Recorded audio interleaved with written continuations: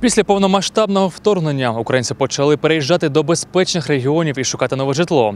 Ціни за орендну плату відповідно почали змінюватись. Тож чи відчули такі зміни вартості житла орендарі у Кропивницькому? Ми дізнаємось у традиційному опитуванні. Коли ми вже переїхали, вони вже піднялись. Бо ну як наші друзі кажуть, е, до цього у нас така квартира, як ми знімаємо, коштувала 6-6500. Зараз ми платимо 10 за двушку.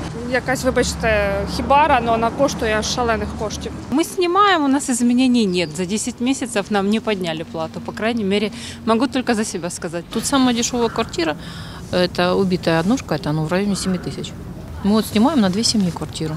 Да, вдвоем, потому что, ну, если на одну, то это очень дорого. У нас квартира обходится по 7 тысяч, мы снимаем трехкомнатную, нам по 7 тысяч с каждой семьи. Это съемы плюс коммуналка. Плюс еще коммунальная. 9 тысяч за трехкомнатную и 7,5 за двухкомнатную.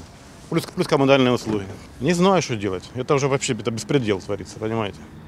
Люди ну, получают там переселенческие ну, две- две с половиной тысячи. И как жить, за, за что жить, неизвестно.